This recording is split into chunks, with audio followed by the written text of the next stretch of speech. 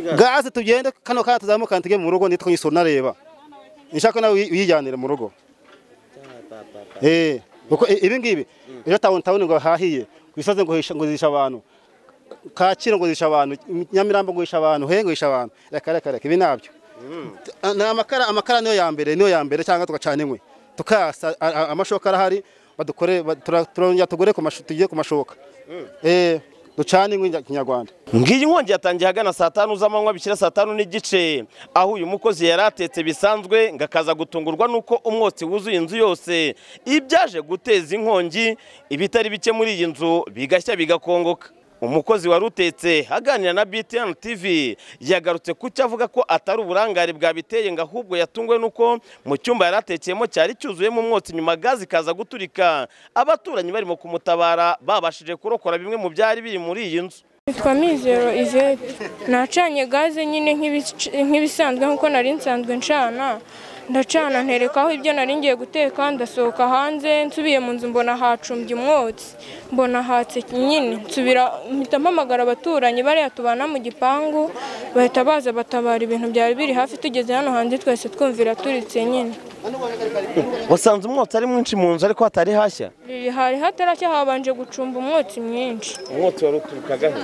Waturukaga mu cyumba cyari kirimo gaze nyine wazamukaga muri gaze. Tubona nyine mu nzu hacumbye umwotsi tugeze hano hanze ni bwo yahise iturika hahita haka cyane. Uyu mwotsi wacumbye cyangwa gaze kugira ngo uyifungirane wari wagiye? Ntabwo nayifungiranye. Nari impari nari ntetse. Nari impari nyine nacanye nk'uko nari nsanzwe ncana. Nuko nyine ndasohoka hanze mbona hatse umwotsi nsubira mu nzu mbona nyine ntabwo hari kubona. Umwotsi wuzuye mu nzu mpita mpamagara abaturanyi. Nari ndi mu rugo. Mm. Aha ni kwande ngaha nyine turi abapangayi. Ninde Umu- umuryango uwa- uwahakodeshaga ni paul. Ni paul. Irindi nganizi. Nganizi. Nganizi paul. Ibintu byangirikiye muri iyi nkongi birangana iki? Ni byinshi nyine twasohoye. Ibyari biri hafi imyenda yari iri mu cyumba yahiye ibikoresho bindi byari biri mu cyumba byahiye ibikoresho byo mu nzu byahiye keretse nk'ibi byari biri muri salo nyine zino ntebe n'ibi byombo byari biri muri salo mu kabati ni byo twakuruye ibyo ibyo hirya byahiye nyine. Yego. Abana bari bariheze? Abana bagiye ku ishuri. Papa wabo na mama wabo we? Nabo bari bagiye ku kazi nyine ntabwo bari bahari. Kuba iyo gaze yaturitse ntabwo byaturutse ku burangare bwawe. None se ko maze igihe kinini nkoresha gaze?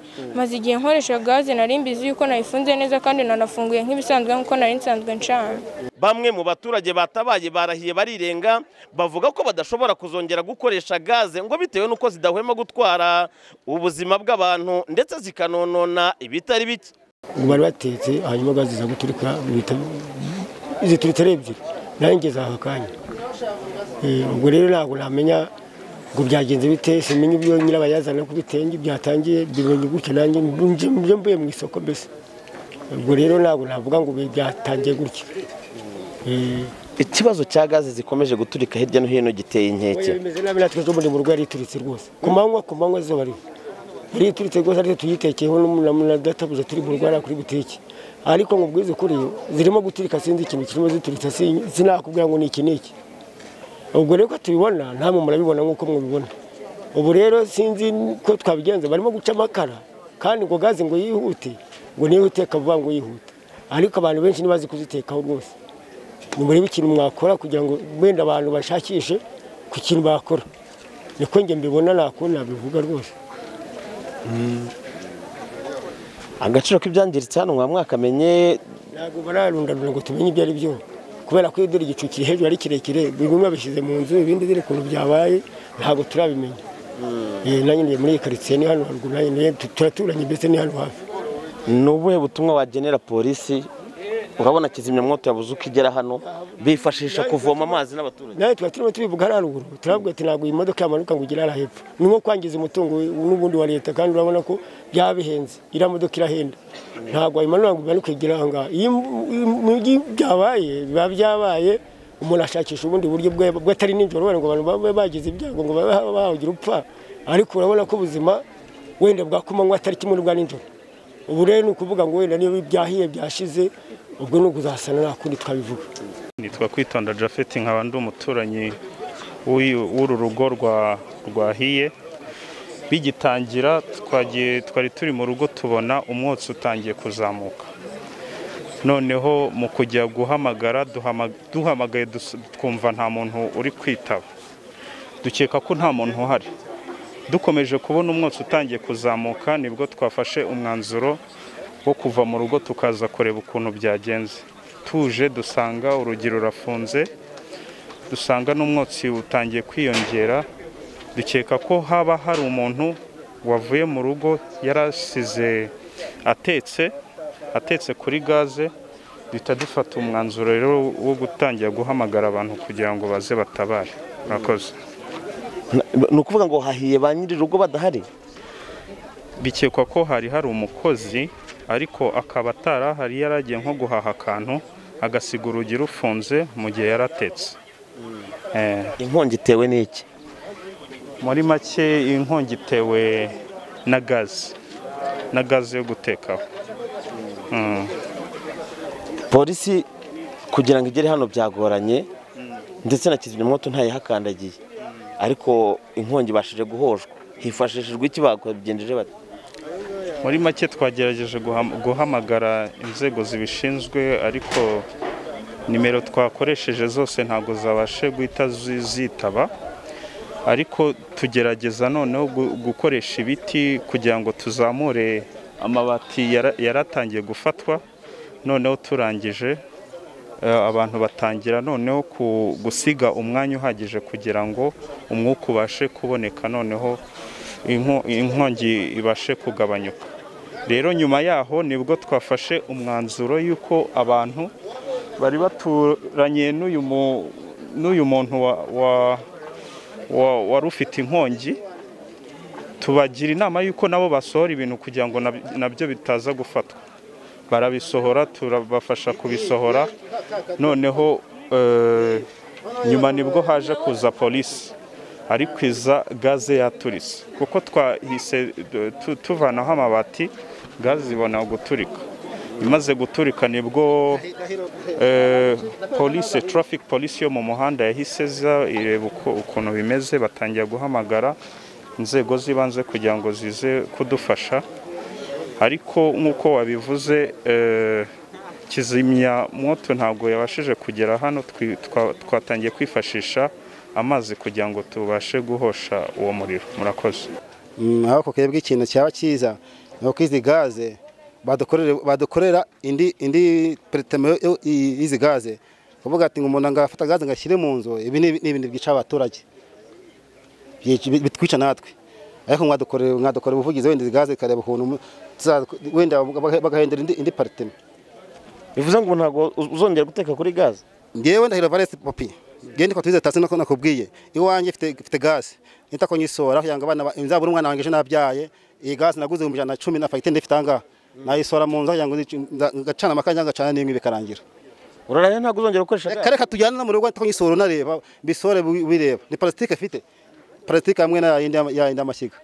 Eh ariko ntabwo nakwenya kubikoresha kuko nanjye mvuye mu mujyi na- na- nge nahakamuhoza ariko niciye ahangaha mbona bimeze gutya ndaza kubatabara. Ndatabara. Reba ukuntu ibi bintu bigenze.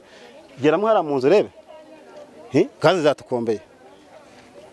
Ubundi ukaza bakambwira ngo umwana wanjye arahiye ngo gaze ngiramwishe gusa na- naguriye gaze ku- kwica umwana cyangwa namubyariye kugira ngo nawe azabe azabagwana guje azabe nanjye ejo aza- azasimbire ku kazi. Mm. ntabwo uzongera gutekera kuri gaze. Gaze tugende kano kana tuzamuka tujye mu rugo nitwo nyisura nareba. Nshaka nawe uyi- uyijyanire mu rugo. Eh ibi ngibi ejo tawuni tawuni ngo hahiye. Ku isozi ngo ngo zisha abantu. Kacyiru ngo abantu nyamirambo ngo zisha abantu he ngo zisha abantu. Reka reka reka ibi na byo. Ni amakara amakara niyo ya mbere niyo ya mbere cyangwa tugacana inkwi. Tukasa amashoka arahari badukore turongera tugure tujye ku mashoka. Eh ducane inkwi nya- kinyarwanda. Naho umukozi yari yagiye guhaha. Iyo agenda acanye imbabura amakara cyangwa inkwi yagusanga inkwi zazimye agasanga bya birayi yarateze byapfubye akabipfubura eh. Atagize byangirika ibirayi ntabwo bigura igihumbi. Nta nubwo bigura magana atanu. Ariko reba. Imiterere y'uyu muhanda ni kimwe mu byakomye mu nkokora polisi ishami rishinzwe guhosha inkongi. Ariko polisi yifashisha amazi yavomaga mu ibase ku bufatanye n'abaturage. Babasha guhosha iyi nkongi. Umunyamabanga nshingwabikorwa w'uyu murenge wa gitega avuga ko bakigisha abaturage mu rwego rwo kubashishikariza gutura ku midugudu mu rwego rwo kuva mu manegeka kugira ngo banigishwe ibijyanye n'ikoreshwa rya gaze nka kimwe mu bizagabanya impfu za hato na hato ndetse n'impanuka ziterwa na gaze. Inkongi yatewe na gaze yari yacanywe n'umukozi wari ugiye gutegura amafunguro ariko noneho ntabwo nahamya yuko yayicanye neza cyangwa nabi we yahubutse abona yuko inkongi y'umuriro ya- yavutse aho yacaniye iyo gaze nyine. Agaciro k'ibyangiritse mwaba mwamaze kukamenya? Oh, haravugwa ko hangiritse televiziyo hangirika na matera ndetse na gaze na yo yaturitse. Mm, ntabwo twavuga ngo bifite agaciro kangana gute ariko ni televiziyo yahiye. Hashya na matera ndetse n'iyo gaze yabashe guturika. Ibyago bitera bidateguje ariko urabona ko n'ubusanzwe iyi nzu bidashoboka ko bashobora kuza kongera kuyiryamamo. Uyu muryango mugiye kuwufasha iki nk'ubuyobozi? Ngira ngo murakoze cyane nk'uko mwabibonye n'umwana w'umusore wari ukiri mutoya atuye muri iyi nzu kandi n'abavandimwe abavandimwe be ndetse n'ababyeyi be nabo bari mu batabaye. N'ubundi nabo baraza kudufasha kugira ngo barebe aho baba bakinze umusaya mu gihe atekereza ukuntu yabona iyindi nzu yo guturamo. Ikibazo cy'imiterere y'umuhanda byakomye mu nkokora polisi ku buryo kuzimya habaye kwifashisha amazi bavomaga mu ibase kandi kizimyamwoto yaje ibura uko ihagera. Ibi mu gihe hagiye gukorwa iki? Kugira ngo byibura hirindwe ko ahandi hashobora kuzashya ubutabazi buzaboneka bukabasha gukoreshwa. Murakoze cyane. Kimwe mu byo turimo dushishikariza abaturage bacu ni ugutura neza. Hari gahunda yo gutuza abaturage bacu ku mudugudu byatangiye hano muri gitega turwana n'uko ibi byago byose bishobora kujya bivuka aho abaturage batuye. Hari gahunda rero yo kubatuza neza ku mudugudu ku buryo tugenda dukatamo n'imihanda. Icyo gihe nibamara kugera mu midugudu inzira zizaba zarabonetse ku buryo n'ubutabazi bwajya bworoha. Ikindi wenda turimo dusaba cyane abaturage bacu ni ukugira ngo nibura buri rugo rugire ka kizimyamoto gatoya gashobora kubatabara igihe cyose baba bahuye n'iki kibazo cy'inkongi. Leta irakangurira abaturage gukoresha gaze mu rwego rwo kwirinda guhumanya ikirere byakomoka No ku kurengera ibidukikije. amakara no kurengera ibidukikije byumvikane. Ariko abaturage baravuze bati, ariko abaturage bari "Tuzisubira ku kuvuga makara." ati tugiye gusubira ku makara kubera ko ziri guteza impfu n'ibintu byacu bikangirika. Ah, ni iki mubwira izi kampani cyangwa izi ibi bigo bishinzwe gutunganya zino gaze ku bijyanye no kongera ubuziranenge? Kugira ngo hirindwe impanuka za ubuzima bw'abantu, abantu babipfiramo mu buryo batateganyaga murakoze cyane. Kimwe mu byo turimo dushishikariza abaturage bacu ni ukubona amakuru y'ibanze ku ikoreshwa rya gaze. Kugira amakuru y'ibanze ku ikoreshwa rya gaze tugiye gusaba izi kampani zose zicuruza amagaze y'uko ku bakiriya babo bashobora kubashakira nk'utudipuriya dutoya turiho amakuru y'ukuntu gaze zikoreshwa. Turaza no kugerageza uku turimo dukora ubukangurambaga ngo nibura buri muryango utunge gaze tugiye no gukora ubukangurambaga ku buryo hari amasomo hari ama mahugurwa y'ibanze yatangwa ku ikoreshwa rya gaze ibyo turaza kubikora aho tuvuze ko abaturage bagiye gusubira ku makara byo twasa nk'aho turimo dusubira inyuma kuko icyo twifuza ni uko buri muryango wakoresha gaze muri rwa rwego rwo kugira ngo tugume tubungabunge ubuzima bwacu ndetse n'ibidukikije muri rusange. Ubwo twakubukaga muri uyu mudugudu ibyatikiriye muri iyi nkongi byari bitaramenyekana harimo gukorwa ibarurwa ndetse no gushakisha uyu muryango waza kurambika umusaya. BTN TV mu murenge wa Gitega mu karere ka Nyarugenge mu mujyi wa Kigali. Ndindahiro Valence Papi